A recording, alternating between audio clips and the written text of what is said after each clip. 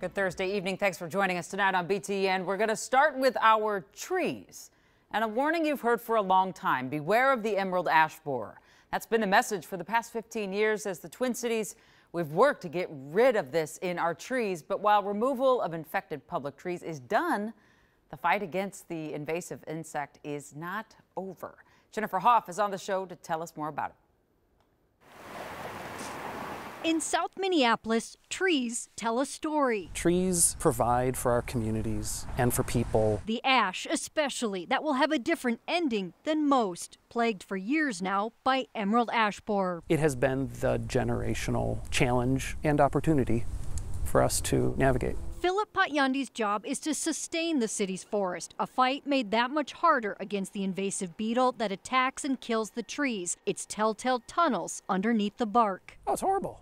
It's, hor- it's horrible. The city has since replaced about 40,000 infected trees from public streets and parks in eight years, costing taxpayers about $13 million. Do you feel like you have a handle on the problem? Emerald ash borer in Minneapolis.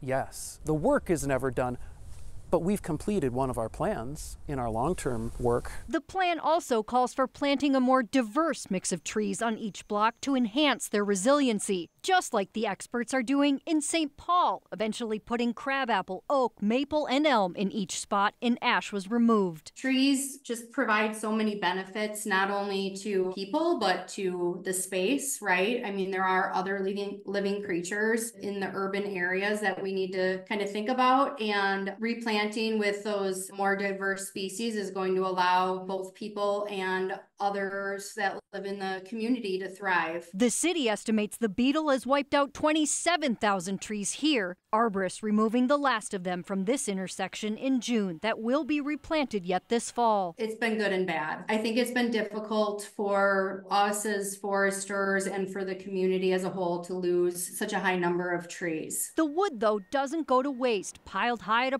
processing plant, it will be turned into mulch or fuel, meaning for some trees, their story isn't over yet. It's so encouraging to see a community come together and decide, you know what, we want these trees to be around long. And I feel good caring for them, knowing that they serve our community.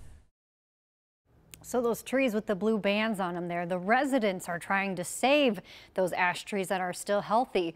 They're chipping in to pay for the pesticide to treat them. However, if there is an infested or dead tree on your private property, both cities do require that you remove it. And Jana, only Minneapolis has grant money available to help pay for that. So it's a tough balance, right? Because we know removing trees is very expensive yeah. and that's a lot to ask of, of a homeowner. But you see what happens if you don't get rid of them too. Yeah, it's a tough one. And this is just like a small aside, but there's a lot of trees in the Minneapolis neighborhood my wife and I live in. And our son learns a lot from these trees. And when they have a marking on them, you find yourself having to tell a story about why. And then you start the whole cycle of life. So it's sort of been helpful. Good, good. That's what trees are good for. They're some of my favorite things to talk about, and we certainly need them and protect them as well.